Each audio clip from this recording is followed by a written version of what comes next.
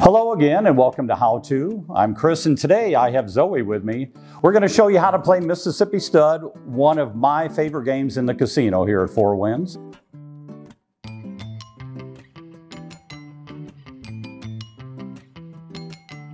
If you're a poker player, it's a little different than regular poker, but let me show you what I'm talking about. We're going to pretend like this is a $5 game. It's going to go on the ante. Every player at the table is going to get two cards. Before you see any of the community cards, you'll take a look at your cards. Now you'll notice I've got a pair of sixes. If you notice on the table, all the payouts are on the table right in front of the players. If you have sixes through tens, that's a push, which means you can't lose. So you know that you automatically want to triple your bet up. On Mississippi Stud, you can bet what your bet is all the way up to three times, and that shows it right on the layout.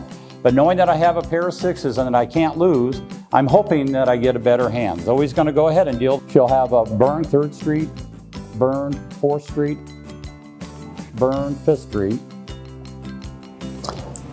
Now Zoe's gonna go ahead and finish the handout here. And we started with a pair of sixes, knowing that we couldn't lose, we tripled up. She put another six on there, so now I have three of a kind. So she's gonna go ahead and pay that three times. We're going to have Zoe go ahead and deal another hand and let's see how our luck runs this time. So we know that if we have a pair of sixes or higher, we can't lose.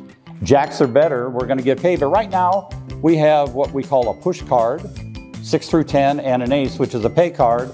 I want to see another card, but I don't want to triple up because I don't have a winning hand yet. So we'll go ahead and bet $5. Our second card still doesn't help us, but I still have a winning and a push and I'm gonna pay to see another card, so we'll bet five more dollars. Now I have an ace. Jacks are better, which an ace is better, gets paid, so we're gonna, on Fifth Street, triple up our bet and hope that we get something else with it. And we did. We have two pair, because I have an ace and a seven underneath. So now I'm gonna get paid two times on my money. We're ready to play another hand in Mississippi Stud. Now, for our purposes today, there is a side bet that we have on the floor at our casinos that we don't have back here, but I'm going to show you what it is. There is an optional bet that costs only $1 that you can play that gives you a chance at our bonus jackpot that's tied into a couple of our other games. I think today it's a little over 80,000. We've had it up over 100,000 before, so this is a bet that you definitely want to play. Zoe's going to go ahead and deal me the cards she would press a button that will turn a light on here and take the dollar, and that shows that you're in for the big jackpot. So I have a chance here for a couple of different hands. I have a push and a win card. I also have two spades, a possible flush, could be working on a straight, so we definitely want to stay. We're going to bet another $5. Again, same scenario. We're getting closer to a number of different possibilities. I'm going to bet another $5. Now because of how well I'm doing here, I think I might be able to catch a really good hand here. So I'm gonna triple up my bet, which is the option of the player to do. You can triple your bet anytime you want to. And lo and behold, luck is with me today.